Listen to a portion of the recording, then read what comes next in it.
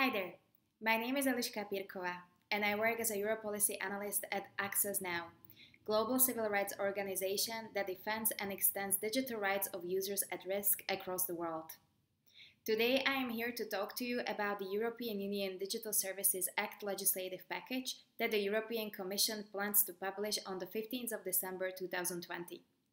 So why is this legislative piece so important that it deserves its own presentation? Well, the reason is quite simple and rather grim.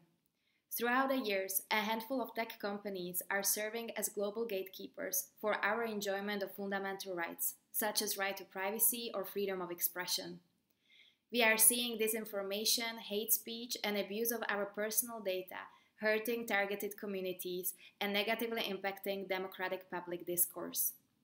To make matters worse, in many cases at the national level, lawmakers are pushing for short sighted solutions, such as forcing private companies to police speech or demanding swift removal of user generated content that further harms human rights protection. The European Union has the opportunity to address these problems using an approach that will establish clear responsibilities for private actors and hold them to account while ensuring our rights are being protected. Systemic regulation is justified and necessary in this case. There is an enormous power imbalance between the large platforms and the people who are using them. Their business models are built on data harvesting without proper safeguards and do not give people adequate control either over their data or over the information they receive and impart. So, how can DSA fulfill its promise of systemic regulation that empowers users and returns control back to you? First, adequate response mechanism for addressing illegal user generated content that protects users' rights first needs to be based on building safeguards for procedural fairness, effective remedy, and meaningful transparency.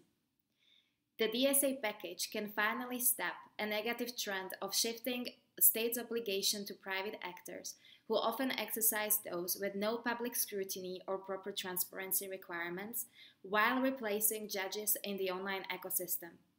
So called notice and action procedure should be tailored to the specific categories of potentially illegal content and should empower users to report such content.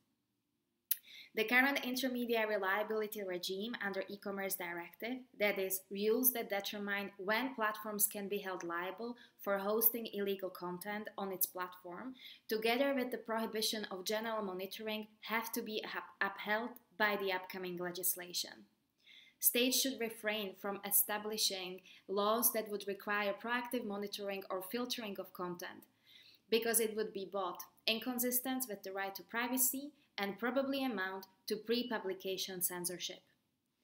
Finally, as a global organization, we know painfully well that when the vague terminology enters legislative frameworks, it always results into human rights abuse. Terms like harmful but legal content or online harms that are extremely difficult to define should be left outside the scope of DSA. Furthermore, the concept of legal but harmful can hardly be reconciled with the principle of legality, which is an ultimate precondition to the rule of law. This is not to say, however, that DSA won't have a means or measures how to tackle such a type of content. This is to say that transparency in this debate is essential. As far as transparency is just a generosity and not a requirement, we can hardly achieve platforms' accountability. Online targeting or online advertisement lies at the core of data harvesting business models of platforms, and it shapes users' online experience. It allows large platforms to determine and speculate on people's personal preferences and behaviors. Because they harvest an unprecedented amount of personal data, they are able to boost engagement and derive profit by prioritizing and quantifying the popularity of certain type of content which is often sensational and includes hate speech or disinformation. In the hands of major platforms, content moderation and content curation became commodity as our attention and time that we spend on these platforms. In order to tackle these issues, we propose transparency umbrella requirements that should be implemented and established by the DSA legislative framework. This is not to say that transparency is an ultimate silver bullet solution to this issue, but it's an essential precondition to find one. This umbrella framework consists of first user centric transparency that will return control back to you and empowers you in a way to understand how your data are being used and for what purpose. Second, the set of data have to be available to public authorities in order to finally exercise sufficient public scrutiny and oversight over these platforms and their operation. This goes hand in hand with other third requirement, which is the establishment of data access framework for researchers and journalists, so we can finally achieve research-based and evidence-based policy making based on the research that these actors will deliver. And finally, we are also proposed the set of safeguards for open content recommendation systems often responsible for algorithmic personalization and curation of content, and also broader requirements for algorithmic decision making that is happening in the background, usually without any awareness of users.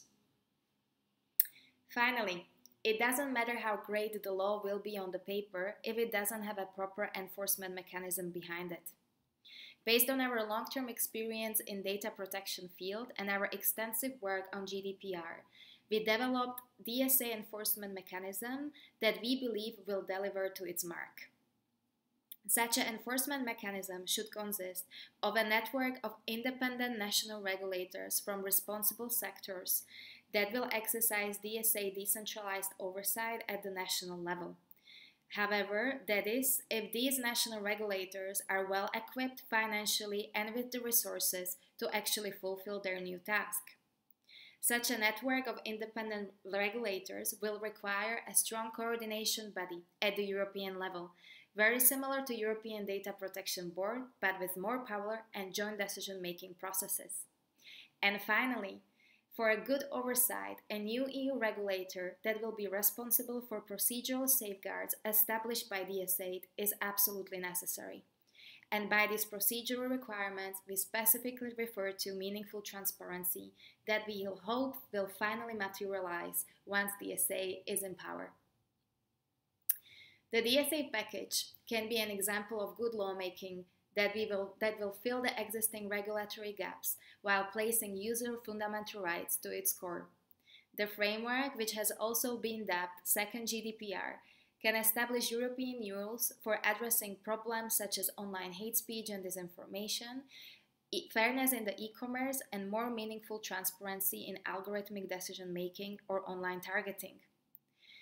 This could not only transform the regulation of gatekeepers in Europe, but it could also serve as a global trendsetter for content governance in the same way as its older sibling GDPR once did for data protection. Thank you very much for your attention. Stay tuned. If you're interested in the work that Access Now does in Europe or elsewhere, check our official website, accessnow.org, or get in touch with us via Twitter. I'll see you there.